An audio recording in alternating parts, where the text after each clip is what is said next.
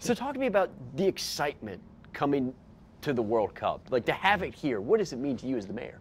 You know, I describe it as having multiple Super Bowls here in the same city. We have six big matches. We have the men's uh, team that are just world class. We get to show to billions of people what we have here in Seattle, not just athletically, but the people, the businesses, the communities. So we'll be a world citizen and you know, my job as mayor to make sure that we're safe and the transportation solutions are there, but we are so excited about the FIFA games. So talk about a game plan going into it. You talk about transportation, you talk about security, just like what all conversations you've been having with, you know, Chief Diaz and the Department of Transportation, all that, because two years, it may seem like a while, but it's hmm. actually quicker than we think. No, this kind of planning is, uh, is critical. So a few things we're doing the local uh, organizing committee here, we have local leaders here that are part of the FIFA structure.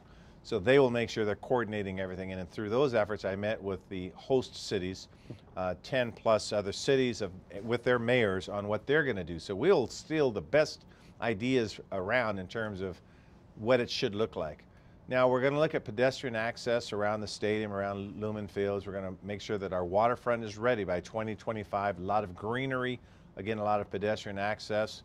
Um, we're looking at where we're improving other fields, and so we're making sure again that um, both from a traffic calming standpoint and all of our capital investments that people can get around. Wayfinding is going to be critical. We understand many people may not even speak English uh, barely, and so we have to make it very accessible to people. Public safety, you know, we're increasing our numbers in the public safety department. We realize there could always be public safety concerns. So again, we have interdepartmental teams work with our local organizing committee to make sure this is a huge success. And I think during the Major League Baseball All-Star game, I think we showed what we can do when we have a sense of purpose and urgency. And you're going to see that on steroids, so to speak, for the FIFA games. And just where the game's going to be played at Lumen Field, you know, that's a very heavy trafficked area already. And, you know, as mayor, you've dealt with a lot in your time here, you know, with the fentanyl crisis, the homeless crisis, you know, how do you tackle those issues going into this with the world's eye on us? How do we tackle that? Well, first of all, I have looked at cities like Portland and Los Angeles where um, their problems of public safety and RV encampments and people living in tents are critically, uh, well, I, should say, are exacerbated. So we realize we have to get people shelter. We have to remove RVs to get them to lots where they can get help.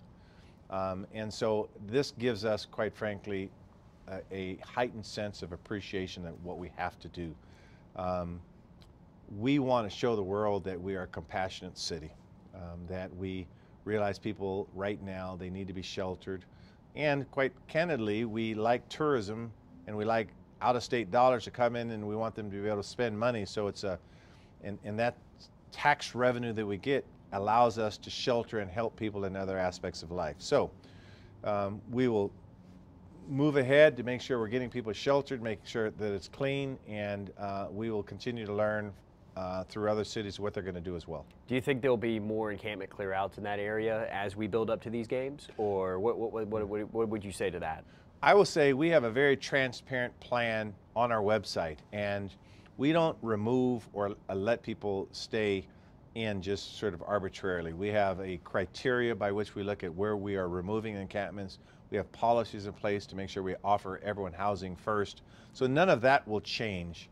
Uh, but we have to do recognize that in certain areas of the city during FIFA games, there's going to be a high concentration of visitors. But our strategy is a solid strategy. It's a transparent strategy on the website. We talk openly about where we have areas of concern. And, and if you see under our leadership, you literally see the tremendous progress we've made. Am I happy with where we are? No. You, you, I tell people you don't want a mayor that's happy with the conditions that we see. When I walk downtown and I see people that are, have no hope and living lives of despair, it makes me cringe because I have to figure out a way to get them treatment and clean up our streets. And so that's the work we're doing. I'm very bullish about our downtown area and it will continue to be. Now, when it comes to, I don't know if you've ever been around international soccer. Have you ever been around international soccer, like a World Cup game or uh, international friendly, anything like that? I watch as much as I can on TV. I enjoy the CONCACAF games and I understand and I have an appreciation for this world sport. Now, what was the follow-up question? The follow-up question is, is there nerves dealing with soccer fans, say, from Germany, England, Brazil, Argentina, big soccer countries. Well, in all seriousness, that I never had an appreciation for the international sport growing up as a child.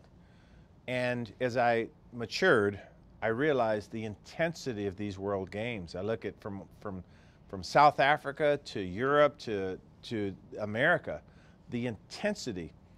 And psychologists will talk about what soccer does to tap into uh, a, a, person's sense of belonging and competitiveness.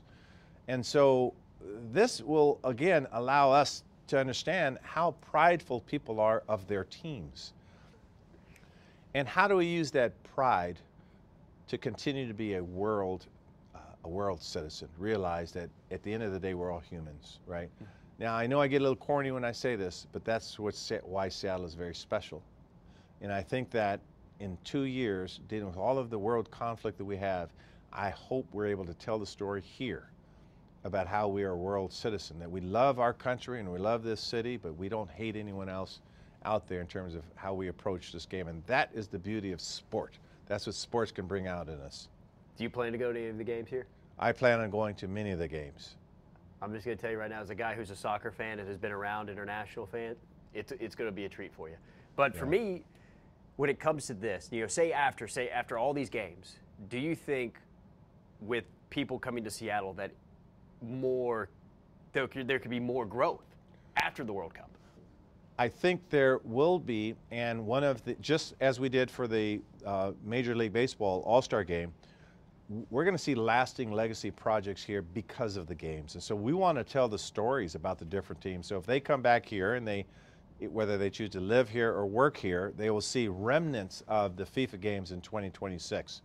So, and, and in the planning, I'm making that crystal clear that I don't want it to be like the carnival that came to the city and then they left and they took the tents and everyone, there was no signs of it. So we're going to look at the lasting legacy of this, this great experience.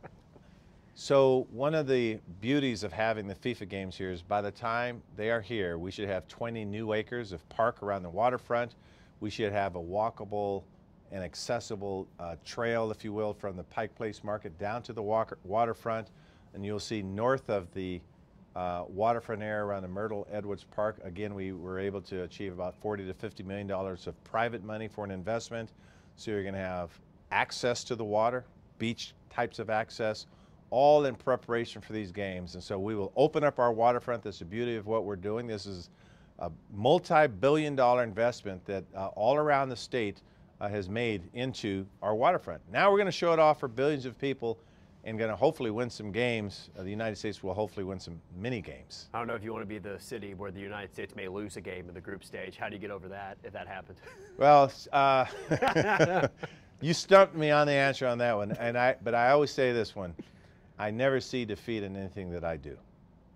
And for me, I don't know if, we, if you've heard about this Warner Brothers, Fox, and Disney merger with the streaming platforms, where there's going to be now potentially even more eyes on all the games in the World Cup in 2026, especially here in Seattle.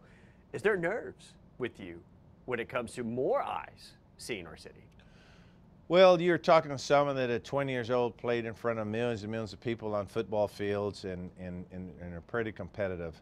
So I don't respond negatively to pressure. I welcome it. So let's get our house in order. Let's take care of the people that live here and work here. That's my highest priority.